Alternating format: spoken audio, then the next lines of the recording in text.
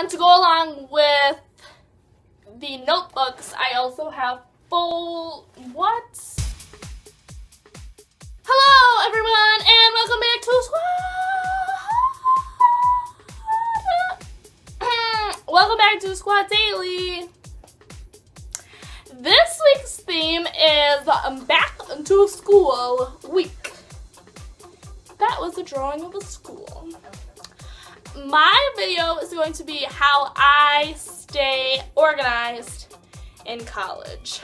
Just a disclaimer, I don't go to a university, I go to a community college, so it isn't as mm, meaningful as a university. It's just kind of like a high school all over again. So yeah, let's get started.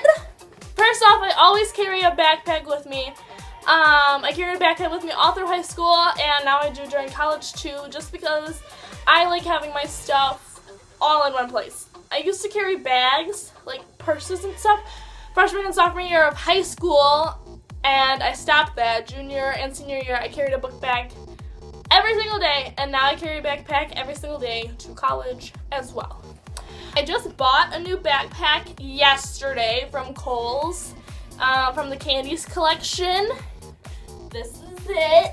Really nice, really fresh, really green. I like it. Yes, this backpack, it has a little pouch right here, and then the big pouch right here. Last year I used this backpack. It was in my What's in My Bags video. It's just like a JanSport backpack. I really like those backpacks too, but this year I only am taking three classes like on campus.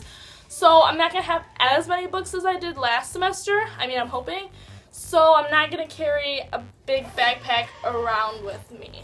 First, I have one of these portfolio things full of old notes from past semesters. As you can see, they're all in there. I take them all out of my notebooks, I rip them out, and I put them in here. Staple them together, and they're all in this little thing. Um, what I think is also really helpful, when I took stats my first semester of college, my instructor gave us this packet and it came with one of these like rings on it like this. So all the papers were on this one ring, like all my notes from that class. Like he gave us little pages to write on and little samples and stuff. So everything from that class is on this ring. And then for the current semester I'm in right now, I have like one of these portfolio things. And once I like like finish an essay or like get a paper back or something or like a sheet of notes, I put them in here and then I can go back to them like during the semester. And then once the semester is over I will take all the notes from in here staple them together and then put them in this. I also carry around a planner with me um, all the time. This is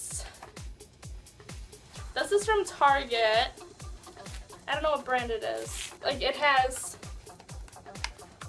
like the big calendars right here, and then like the single week Monday, Tuesday, Wednesday, Thursday, Friday, Saturday, and Sunday. I also buy these big clips. They're like jumbo paper clips, and I put them like in a spot of what I'm using. So in this planner, I have a paper clip right here. So then when I open up, I open up right to the week that I'm using. So then I don't have to like flip through or if it's something really quick, I can just open it up and jot it down. For this year, I bought different colored pens just because I want to be more organized in my note-taking this semester to like try to help me more. Um, this year, I'm taking kind of harder classes than I did before, um, and I really need to pass these classes, so I am trying to take be a better note taker. If I know the class is gonna have a lot of handouts, then I'll normally like hold the papers in a folder. Um, sometimes I just keep the papers in the notebook itself because sometimes there isn't that many handouts. But if I know that there is going to be a lot of handouts, then I will get a folder for that class.